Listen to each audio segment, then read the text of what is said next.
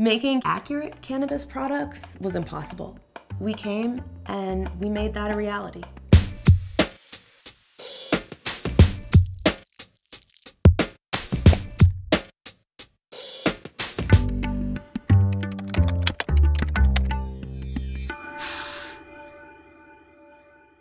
Ardent is a biotech company that's focused on giving people tools so that they can use medical cannabis better and more efficiently. There's a reason that people have to smoke cannabis or have to make cannabis brownies. Those compounds that you're looking for, the THC, the CBD, they're not active and you won't feel any effects. So no, you can't just eat weed. You actually have to put it through a chemical process of decarboxylation and that process is a heating process. Think of it as activation. Without the activation, you're not gonna have any effect some of the ways that people are decarbing now, making a butter or oil, or using the oven or using the toaster oven, or even the crock pot. The precision in heating and the even heating is really lacking.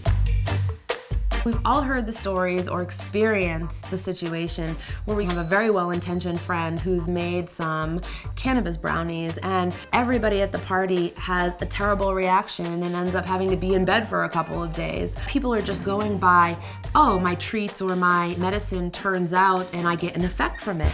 They are really surprised to find out how much they're wasting by either over decarboxylating or burning or by under decarboxylating. Unfortunately, an oven fluctuates in temperature 10 to 20 degrees in either direction. When I say that decarb is really a precision process, even the difference of one or two degrees will impact the process. So there really is a science behind use of cannabis. That was really the light bulb moment for me that said, wait a minute, um, in order to achieve this, it's gonna require something that doesn't exist right now and I'm gonna make it.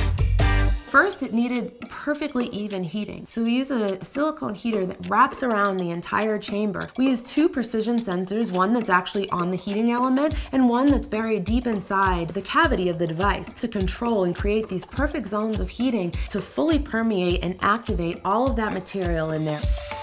You take the material and you put it inside the inner container. You just press the button and the light will turn red. And after about an hour and a half to two hours, the light will turn green. And it's as simple as that. Because the material is active, you can actually just take a teeny bit and just sprinkle it right into your food. There's no need to extract it or do anything else with it at this point. And because you're actually getting such precision decarb, you only have to use a tiny bit. So imagine it's like sprinkling pepper or salt onto a meal. You're really not even going to taste it. You don't need to be a scientist or have this extensive background with cannabis to be able to use it well.